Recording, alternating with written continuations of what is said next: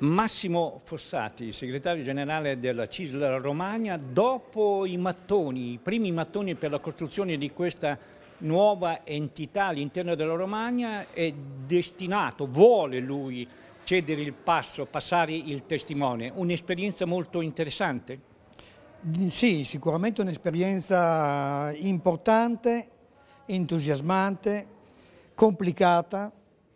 però alla fine posso dire che la nostra organizzazione, che voglio ricordare è stata la prima organizzazione sociale che si è unificata in Romagna, unificando le tre province, le tre unioni sindacali di Forli Cesena, di Ravenna e di Rimini, e questa sfida che è stata difficile è oggi una sfida vinta. Eh, come sempre questi processi di aggregazione portano con sé molti problemi, ma anche molte opportunità.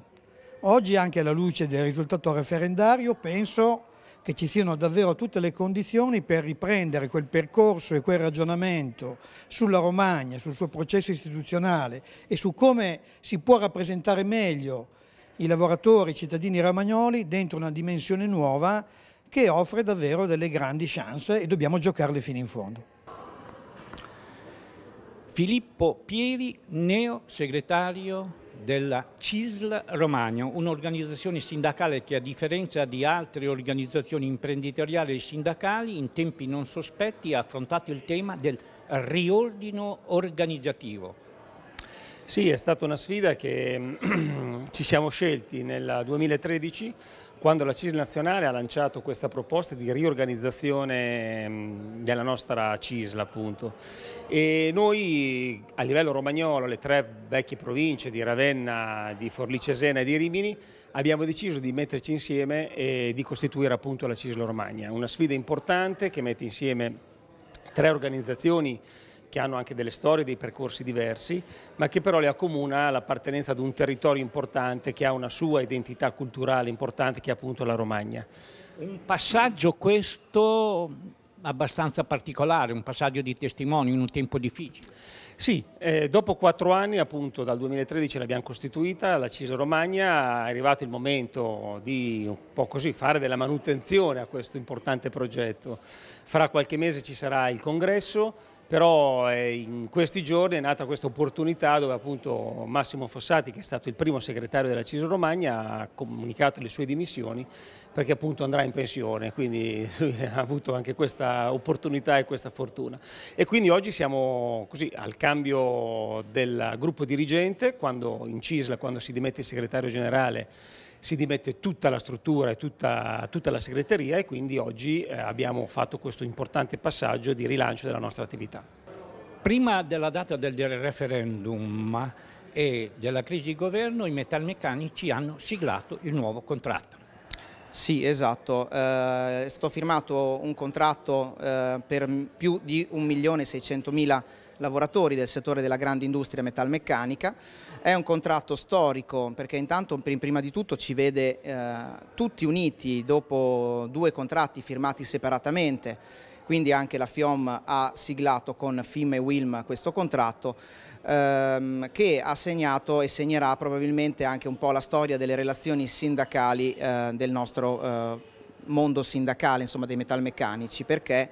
eh, oggettivamente ci sono dei forti cambiamenti anche proprio nella struttura di quella che è eh, il contenuto proprio. Perché... In effetti ho potuto vedere almeno una prima bozza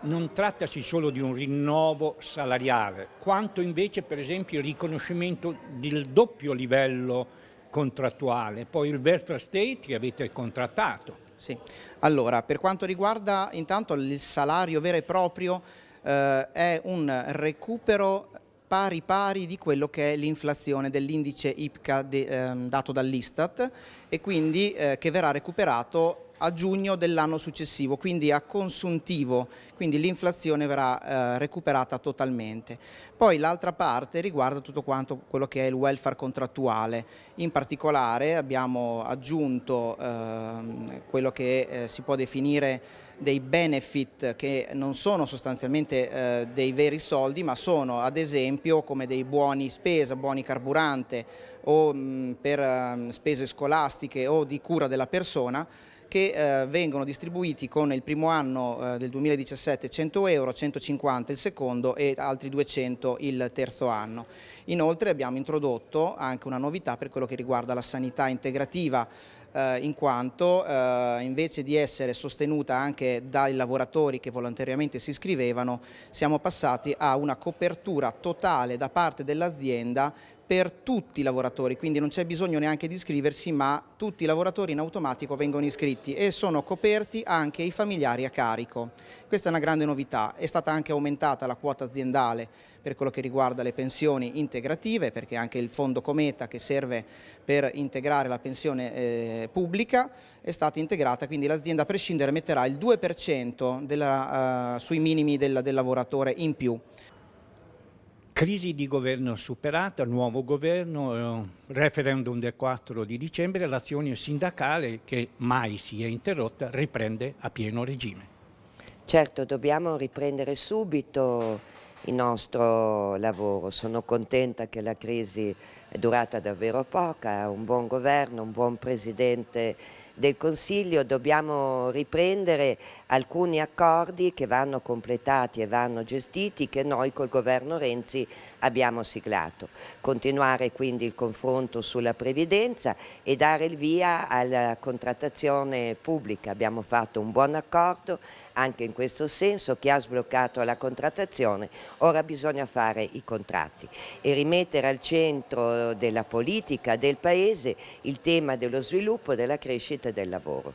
Quindi due problemi imminentemente contrattuali, pubblico impiego soprattutto, ma anche previdenza, ma il tema che voi ponete da esempio è lo sviluppo del paese, l'occupazione, il territorio, il mezzogiorno soprattutto, che ha dimostrato attraverso il referendum di soffrire tantissimo. Sì, credo che sia davvero importante che sia stato istituito appunto un ministero che si occupa dello sviluppo del mezzogiorno e del lavoro. L'Italia per uscire dalla crisi deve uscire tutta assieme, non esiste un'Italia a due velocità che possa consentire a tutto il Paese di uscire dalla crisi. Quindi investimenti, sviluppo, crescita, lavoro.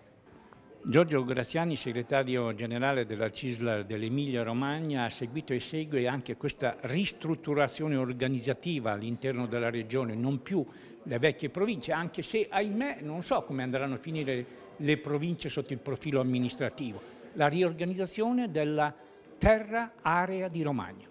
Beh, quattro anni fa abbiamo fatto un congresso dove abbiamo preso una sfida importantissima, ristrutturare riorganizzare tutti i territori nell'Emilia Romagna, al di là di quelli che potevano essere i, i, i futuri, le future evoluzioni delle province, eh, che vedremo dopo il referendum eh, negativo quale sarà il loro futuro. Per quanto riguarda la nostra sfida, è stata una sfida in particolare nella terra di Romagna vinta perché ha messo insieme eh, culture, come si dice, affini, eh, come si dice, un quadro, un contesto sociale molto vicino ma anche così diverso e questa è sicuramente stata una ricchezza per un territorio che è diventato sicuramente più forte. La recente recenti interviste, meglio indagini, studi che sole 24 ore prima Italia Oggi hanno condotto sul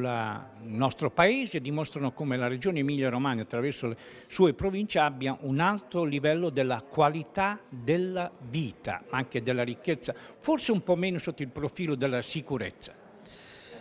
Eh, ho letto anch'io di queste statistiche che francamente non è che mi appassionano tanto, io credo che l'Emilia Romagna, in particolare anche la terra di Romagna, sia una terra accogliente, una terra di eccellenze esplicite sia nel campo eh, agricolo, industriale che anche nel campo, nel campo del sociale.